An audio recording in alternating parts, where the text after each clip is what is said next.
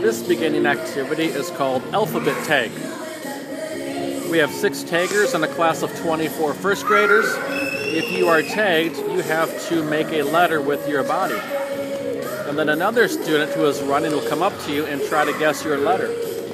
If they say yes, then you both get to run. If they say no, you keep trying until you guess it correctly. Every 30 seconds, we find a new tagger.